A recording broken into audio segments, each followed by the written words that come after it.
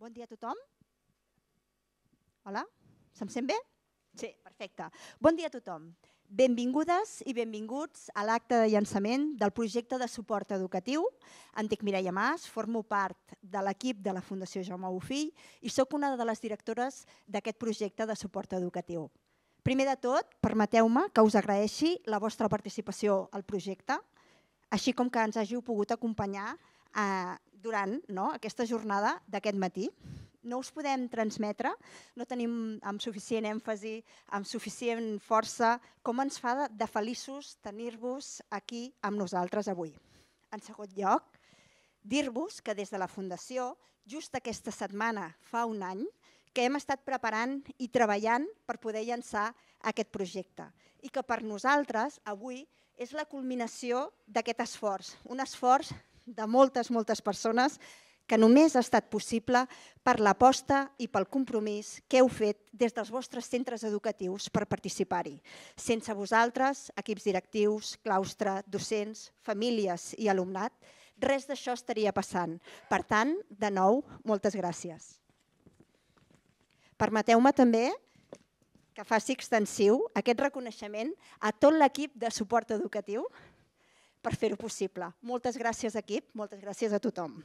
Per últim, i de forma molt breu en aquesta benvinguda, compartir amb vosaltres per què la Fundació us ha proposat sumar-vos en aquesta aventura. Com sabeu, la Fundació eh, impulsa recerca i iniciatives de canvi per millorar l'equitat educativa i transformar l'educació. I ho fem a través de polítiques, de polítiques públiques i precisament perquè creiem que les polítiques de suport educatiu tenen aquest potencial de canvi per garantir la igualtat d'oportunitats educatives per a tothom, que impulsem el projecte de suport educatiu. Perquè creiem, al igual que vosaltres, que tots els infants i tots els joves es mereixen un futur a l'alçada de les seves expectatives. Per això, amb vosaltres pilotem i avaluem tres programes que ja coneixeu, l'èxit, Mat Tutoring, Pantabilities, que reforcen les competències lectores, matemàtiques i, i socioemocionals de l'alumnat que més ho necessita. Un moment. Però no ens volem quedar aquí. Volem anar molt més enllà. Volem saber per què funcionen i com funcionen aquests programes. I per aquest motiu, a més a més, volem avaluar la seva efectivitat i el seu impacte de forma rigorosa i de forma aprofundida. I per això estem aquí tots avui, per aprendre plegats a com accelerar les oportunitats educatives de tot l'alumnat, sense excepcions, i per construir polítiques públiques de suport educatiu del futur, basades en l'evidència i l'equitat educativa per tothom. Moltes gràcies i endavant amb aquesta jornada. Passo la paraula a la meva companya Lídia Climent. Moltes gràcies.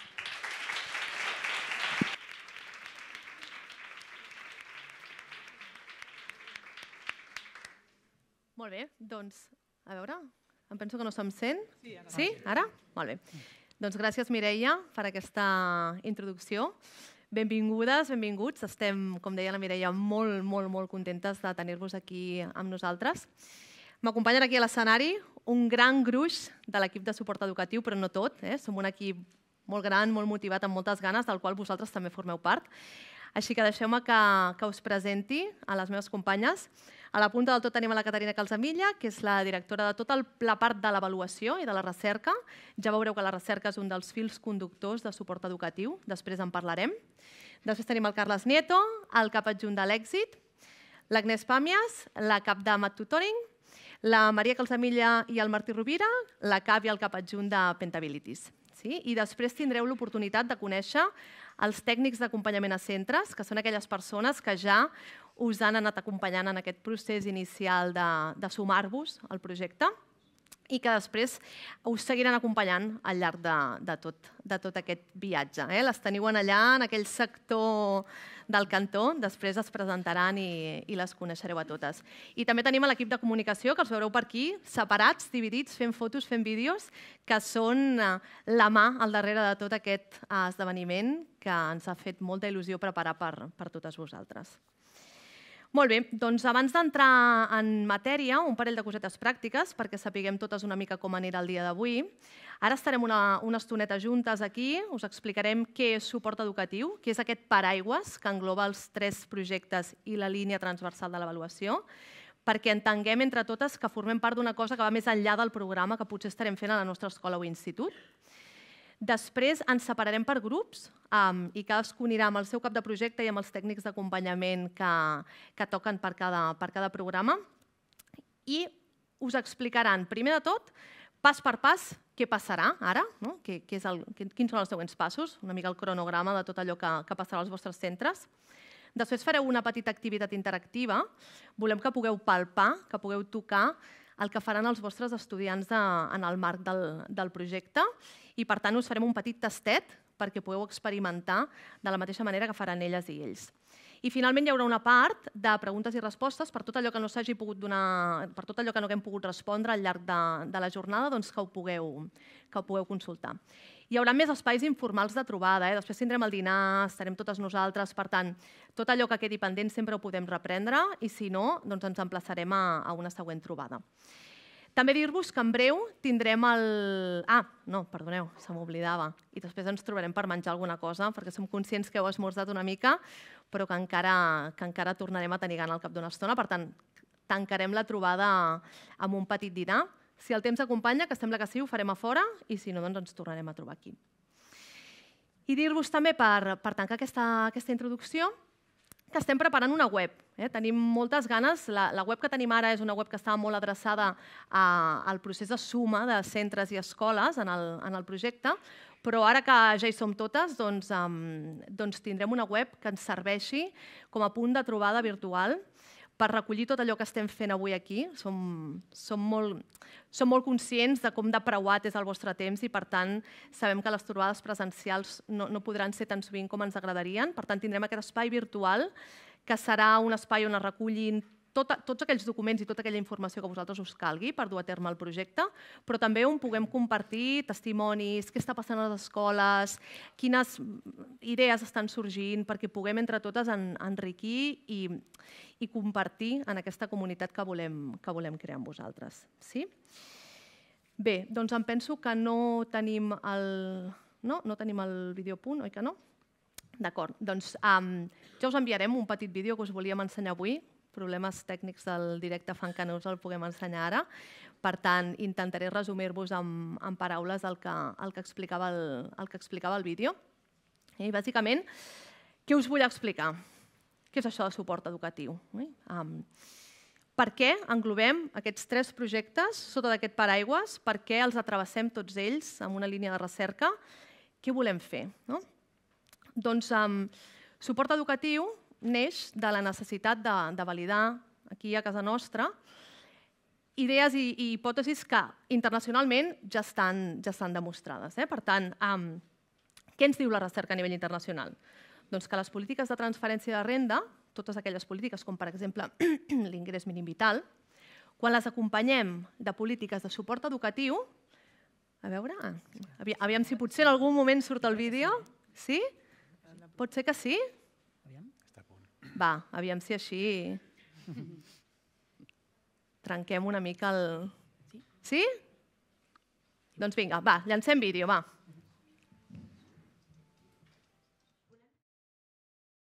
Què és suport educatiu? Volem millorar les oportunitats educatives d'alumnes en condicions de vulnerabilitat i permetre'ls un accés equitatiu a les oportunitats de vida. Ho fem a través de tres programes, l'Èxit, Mat Tutoring i Pentabilities, tres propostes dirigides a treballar la comprensió lectora, les matemàtiques i les habilitats socioemocionals a l'aula. Per què neix suport educatiu? Els infants i adolescents de famílies vulnerables tenen més dificultats a l'escola i, per tant, pateixen una desigualtat educativa que es traslladarà al llarg de les seves vides, afectant-ne molts més aspectes. Centres educatius, personal docent i administració treballen buscant l'equitat educativa. Suport Educatiu vol contribuir a aquesta tasca, generant programes efectius de reducció de les desigualtats en el marc de l'educació i basats en l'evidència científica. Fem allò que sabem que funciona.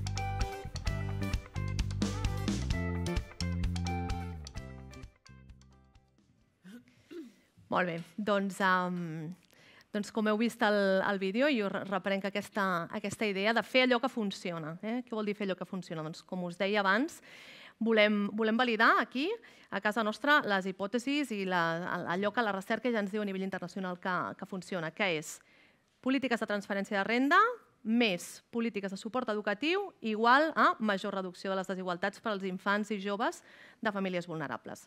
És això el que volem, el que volem fer entre totes i és això el que, el que vosaltres no, ens esteu ajudant com a protagonistes absolutes d'aquest projecte a aconseguir. En especial ara, en aquest context de postpandèmia que vosaltres coneixeu molt bé, en el qual el rol de l'escola, el rol fonamental de l'escola com, a, com a equilibrador d'oportunitats um, s'ha demostrat, però en el que també hem vist i en el que també estem veient com el fora escola està actuant una mica de desequilibrador d'aquesta funció que tan, que també continua fent l'escola. Què vol dir això? Doncs que en funció de la situació socioeconòmica de les famílies del nostre alumnat tindran més o menys accés a totes aquelles oportunitats de suport en petit grup, amb tutories individuals, específicament per a aquelles necessitats més individualitzades, o no tindran accés a aquestes oportunitats. Per tant, suport educatiu el que busca és revertir aquesta tendència, escurçar aquesta bretxa i generar evidències i programes robusts, concrets, que es puguin transformar en política pública i que ajudin a reforçar aquestes habilitats i competències claus per a l'èxit educatiu, però també per a la vida. Per tant, com veieu, tenim dos grans fils conductors i amb això acabo. El primer són els infants i joves vulnerables, de famílies vulnerables, i la nostra voluntat de reduir aquestes desigualtats educatives. I el segon és la recerca, aquest fil conductor que ens permetrà de manera més eficaç fer allò que sabem que funciona. I perquè us ho expliqui molt millor que jo, us deixo amb la Caterina Calzamilla, la coordinadora, directora de tota la part de l'avaluació. Moltes gràcies. Eh, bueno, jo seré superbreu, només perquè ara sé que us estic fent molt mal a tots, que esteu patint els consentiments de les famílies i, el, i que què és això, i que el primer que us oferim és una demanda mm, molt farragosa. No? Eh, per tant, agrair-vos de tot cor. Per, per altra banda, dir-vos que és fonamentalíssim, que si no, no ens deixen fer res. O sigui, una de demanar permís per, per fer aquestes coses. I, i en aquest país no hi estem gens acostumats eh, perquè no ho fem mai i aquesta vegada ho fem i això és molt pesat, però quan parlem de l'evidència internacional, tots aquests estudis sempre hi ha això al darrere eh, i per tant volem ser part d'aquests estudis internacionals i per fer-ho hem de fer aquest esforç. I és un rotllo i ho entenc molt bé Eh, I també us volia dir que tot el que pugueu descarregar-vos i demanar-me que vingui no només a fer vídeos eh, així de 5 minuts, eh, que vingui a l'escola, que ho expliqui, que vingui a mig curs a explicar, a fer xerrades, del, el que vulgueu, eh, em sembla importantíssim poder-ho fer. O sigui, que no us refreneu, no ho freneu demanar. Sí? Si plau, vine i explica, si plau, vine i això. Vine a l'entrada de l'escola, que és quan venen els pares a no sé què, eh, el que faci falta però és importantíssim. Sí, perquè tots els consentiments que no recollim són una evidència que no podem fer servir per veure si això realment ha tingut sentit, si no, si ha servit, si no, entendre les virtuts i les limitacions per poder-ho anar polint i millorant. Per tant, és una labor superpesada, però és superimportant i dir-vos que no esteu sols, que ens teniu aquí Uh, jo, per suposat, però després que hi ha un equip de recerca que també els hauríeu de conèixer i espero que pugueu conèixer-los perquè són tots un espectacle de gent igual que ho esteu sent vosaltres. O sigui que, res, moltíssimes gràcies, que per avaluar efectivament, que, que entengueu que realment el que volem fer és capturar les coses que estan passant, poder-les documentar eh, i avaluar-ne les virtuts i les limitacions per poder-ho polir i fer-ho millor i no només per fer-ho aquí millor, sinó per poder-ho explicar arreu d'Europa, en aquest cas, perquè els fons són europeus, explicar a la resta d'Europa les coses que es poden fer per intentar millorar les igualtats eh, educatives. Sí? I ja està. I passem amb el Carles ja. Bon dia. Eh, cinc minuts per parlar-vos de l'èxit L'Èxit és un programa de suport educatiu que té ja una trajectòria de 10 anys, per la qual cosa és molt probable que moltes de vosaltres el conegueu, n'hagueu sentit a parlar, o fins i tot pot ser que en el vostre centre s'hagi desenvolupat en, a, en algun moment. Si és que no, us explico que l'Èxit és un programa que té per objectiu la millora de la comprensió lectora de l'alumnat de primària.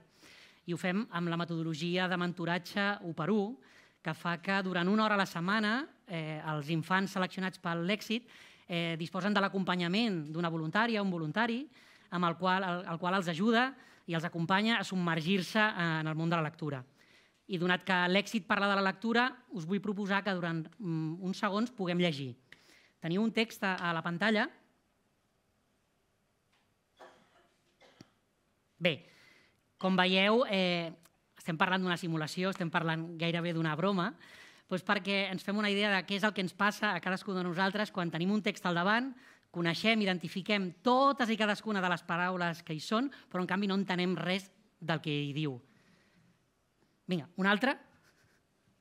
No sé si ho veieu bé, perquè igual us estem tapant. Bé, ja m'explicareu qui de nosaltres seria capaç de saber com rentar eh, aquesta peça de roba només llegint aquestes instruccions. Com us deia, això és una petita broma. Eh, vosaltres que esteu a les aules i als centres us trobeu a diari amb, amb alumnes que tenen aquestes dificultats per comprendre el que estan llegint. I això ja no és una broma, això ja és una cosa molt més seriosa. Vosaltres ho veieu a diari i veieu les repercussions que això té. Eh, les més evidents, les que veieu més en el dia a dia, doncs, són les que tenen a veure potser més amb el rendiment acadèmic però també eh, qualsevol de nosaltres, qualsevol ciutadà, necessita comprendre el que està llegint per molts dels tràmits que hem de fer en la nostra vida diària.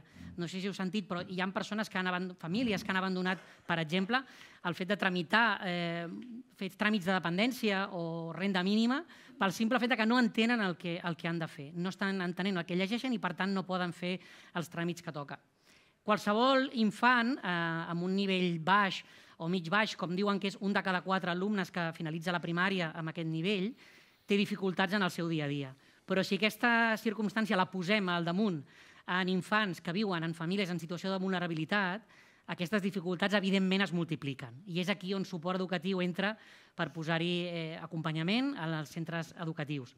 No només són aquestes repercussions les que tenen a veure amb el rendiment o amb el dia a dia, els tràmits que hem de fer, Eh, també sabeu perfectament que qualsevol infant que descobreix la lectura i que es converteix en un apassionat de la lectura, automàticament també desenvolupa competències transversals fonamentals. Eh, estem parlant d'infants amb creativitat, amb imaginació, que se saben fer preguntes i que per tant desenvolupen eh, l'esperit crític i és per això que, que l'èxit eh, vol potenciar aquesta part també més emocional de la lectura. Eh, bé, a totes aquelles i aquells que com a pilotatge, com a mm, programa, us ha tocat l'èxit dins de suport educatiu, d'aquí uns minuts eh, gaudireu d'un tastet, gaudireu d'un taller en el qual podreu veure i viure de primera mà què és l'èxit i, i ho fareu de, de la mà d'una persona que ha vingut expressament per, mm, com a formadora i viureu què és una sessió l'èxit com si fóssiu un dels infants que, que la gaudeixen. Eh, a la resta, eh, només dir-vos que, com us deia al principi, l'èxit és un programa que té molts anys de trajectòria, per tant us convidem a que xafardegeu eh, entreu a la nostra pàgina web, eh, seguiu-nos a les xarxes socials i feu-nos totes les preguntes que vulgueu. I si algun dia voleu més informació sobre l'èxit o penseu que al vostre centre o al vostre municipi hi podria haver un punt de, de l'èxit, eh, no us talleu ni un pèl i demaneu-nos ajuda. Eh, moltíssimes gràcies.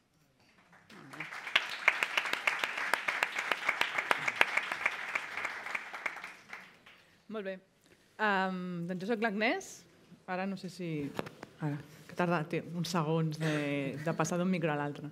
Com em presentava abans la Lídia, soc la cap de projecte de Matutoring i amb l'equip tenim el repte d'impulsar no, aquest projecte de suport educatiu extraescolar en matemàtiques. I és un bon repte i crec que, que compartireu amb mi aquesta valoració perquè normalment quan parlem de matemàtiques, no, quan hem sentit a parlar de matemàtiques, um, que, quines són no, les frases que, que ens venen? Um, jo és que sóc de lletres. Va. Tranquil·la, que a mi de petita també m'anaven molt malament les matemàtiques. Passa res. Els nois sempre estan millors en matemàtiques. És que el que t'ensenyen, arrels quadrades, potències... No sabés de res a la vida real. Després no ho fas servir mai. Uf, quin pal, és que les mates són molt difícils. Els que els agraden les mates són uns friquis. Val?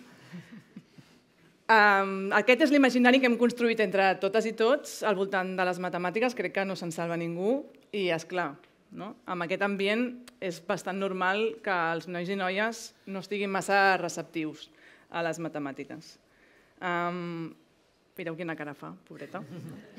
Si fins i tot hi ha un terme específic, ansietat matemàtica, no? que descriu clarament el bloqueig, no? el malestar que genera i que viuen moltes persones, i més, no? com més grans ens fem, i sobretot a la secundària, quan ens hem d'enfrontar a un repte matemàtic, una avaluació en matemàtiques, crec que és un dubtós honor.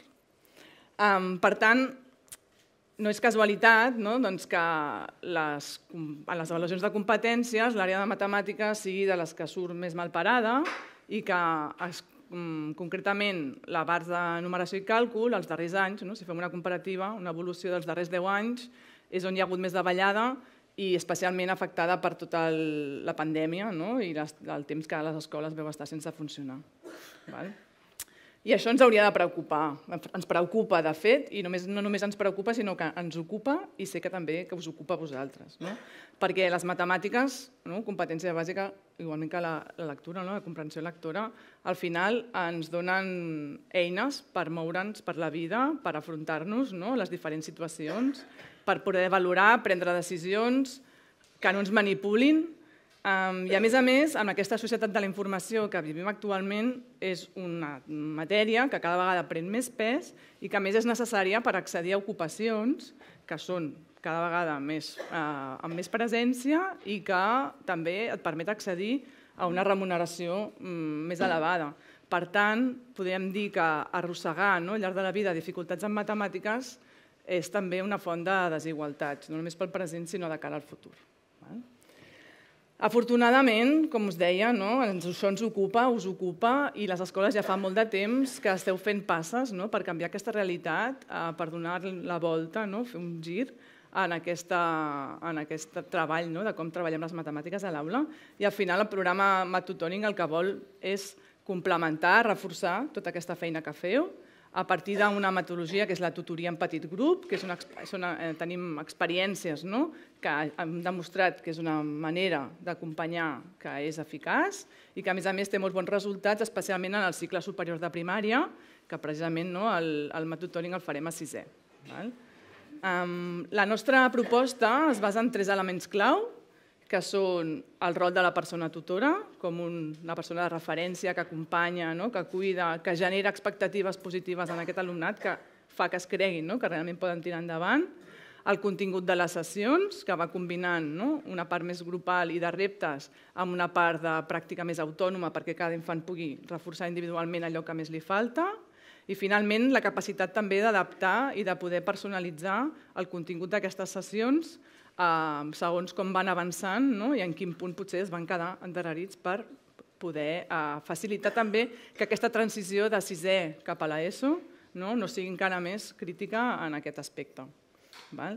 De fet, com deia el Carles abans també amb el cas de l'èxit, i passarà després, no? les escoles que aquest curs ens acompanyareu no? en, en el programa Matutoring, us explicarem una mica més a fons el funcionament, i per la resta tenim la determinació no, de poder extendre també la proposta del mat tutoring a totes les escoles, allà on hi hagi alumnat vulnerable que ho necessiti, i que, per tant, eh, d'aquí un temps, amb tots vosaltres, no, més el suport eh, educatiu, puguem canviar no, totes aquelles frases i passin a ser una mica més properes a això.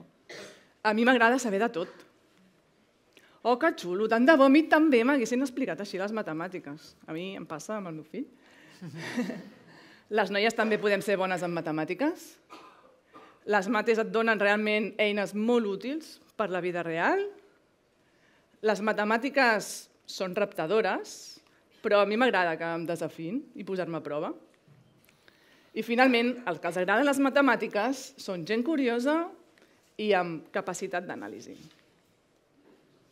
Moltes gràcies. Us deixo amb els companys.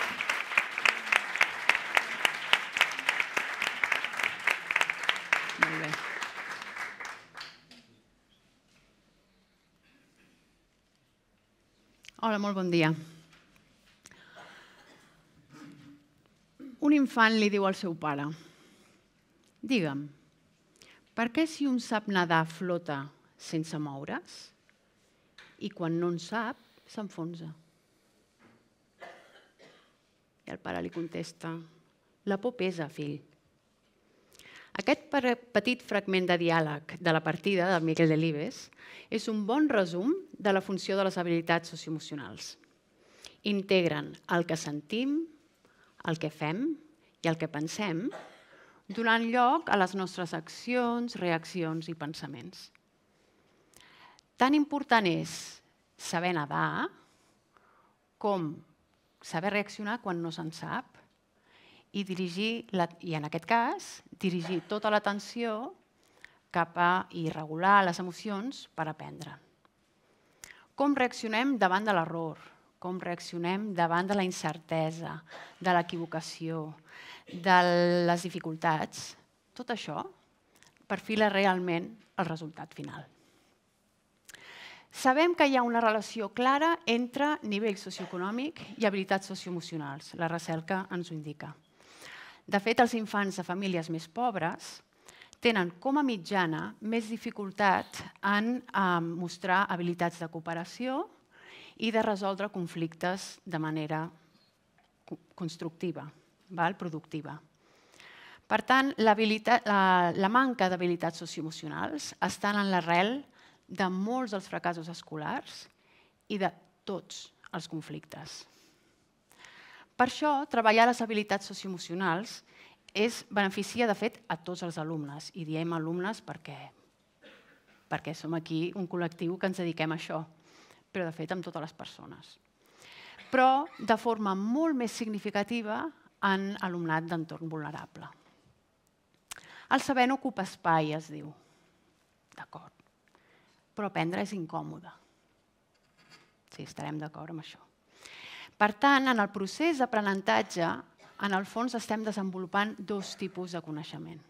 Val? Per una banda, l'objectiu d'aprenentatge en si, doncs, les matemàtiques, la lectura, però paral·lelament també hem de desenvolupar les habilitats socioemocionals. Mm, de fet, la recerca ens mostra que treballar aquests dos àmbits de coneixement, com si diguéssim, de forma integrada, és molt més eficaç que fer-ho de manera separada. El, llavors, això, Pentabilities és el que proposa, integrar el, el desenvolupament d'aquests dos tipus de coneixement. Quines eines ofereix Pentabilities? Per fer aquesta integració, molt breument, hem definit una sèrie de comportaments val, que eh, cobreixen totes aquestes, les habilitats socioemocionals i aquests comportaments per què ens serveixen? Un, per una banda, establir un llenguatge comú i una comprensió comuna, alumnat, professorat, famílies, etc., societat. I, per altra banda, utilitzar aquests comportaments com a indicadors d'aquest desenvolupament. Com proposem integrar, utilitzant aquests comportaments, com s'integren en l'aula, tres punts molt bàsics. Tenir-los presents, en els espais de classe en què l'alumnat què fa? Discuteix, proposa, s'equivoca, dubta, pregunta. Segon, professors, alumnat i un mateix, l'alumne mateix, observen i utilitzen el que han, aquests indicadors per marcar allò que han observat. Per què? Perquè, i el tercer punt és utilitzar aquestes observacions 360 com a punt de partida per fer una conversa i una anàlisi de les fortaleses d'un mateix, de les àrees de creixement i, per altra banda, doncs, ja proposar les següents passes de millora. Celebrem que iniciem aquest projecte.